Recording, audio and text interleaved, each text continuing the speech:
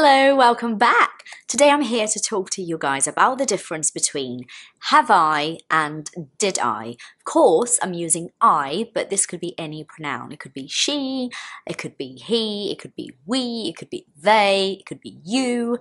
It doesn't matter. The point here is to try and help you understand the difference, if there is a difference at all, between using have I and did I. So let's get started.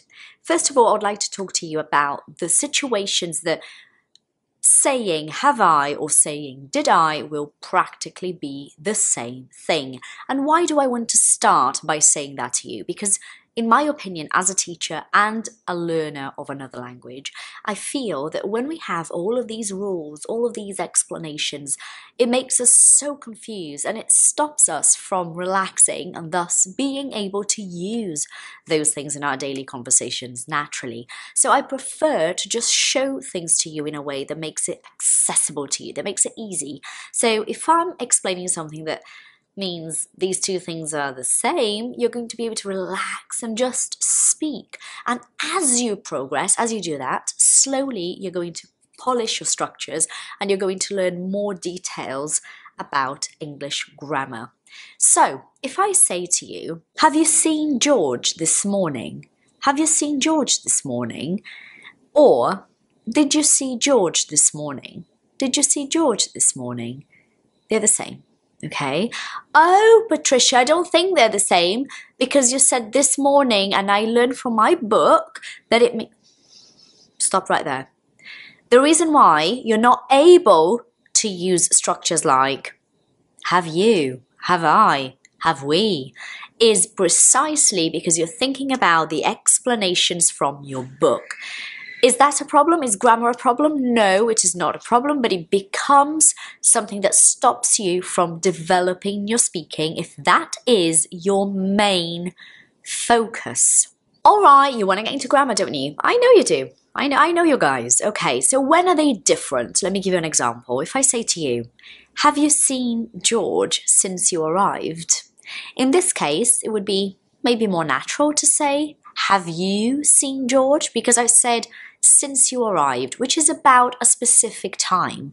On the other hand, on the other hand, saying something else, if I said, Did you see George this morning?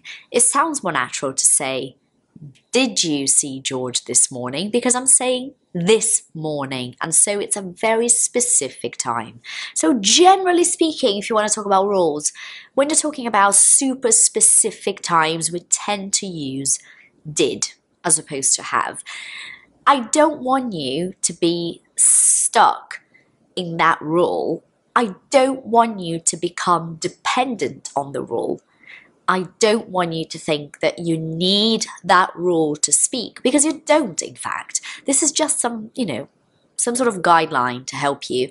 It did not help me, however. As a learner, I just felt that it was so much better to learn through listening to people around me and just slowly getting the hang of things. Things might be different with you and you might need the rule, so be it. This is an expression, it means, all right, then go for it. So be it. So you would say, for example, I received the email last night. I received the email last night because I said last night, which is very specific. On the other hand, you would say, I haven't received the email yet because yet is just, you know, a time you're referring to to a time, meaning did not happen until now, but it's not super specific as saying last night. Maybe I would say to you, I sent you a parcel. A parcel is like a box through the post.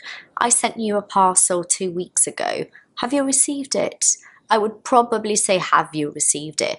Now, would it be wrong to say, Did you receive it?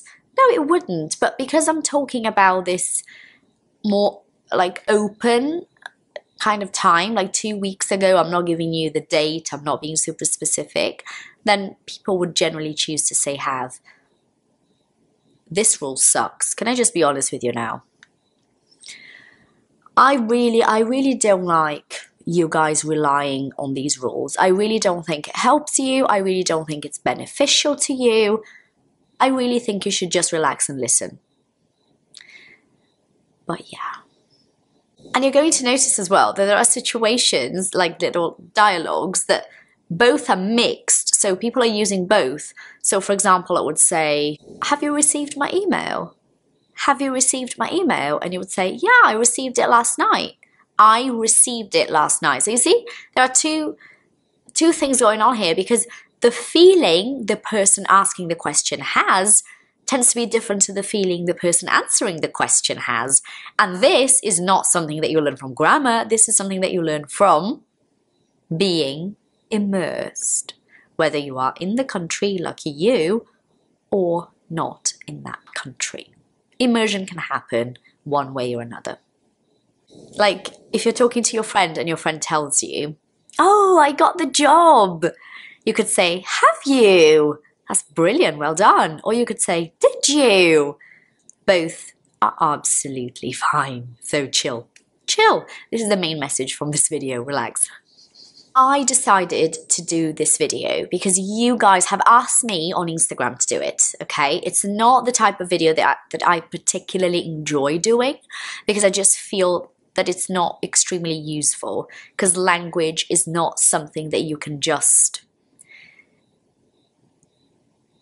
explain in very simple and straightforward, straightforward, like, you know, this is it, like straight to the point, objective. You cannot really explain language in a straightforward way when it comes to, to a second language, to a foreign language, because there are so many other things that have to be considered when you're talking about that. So this is not my favorite type of video, but you asked, I thought I would at least try to help you, even if it means making you feel a little bit more relaxed and at ease when it comes to using those two structures. You're going to use both in your speaking.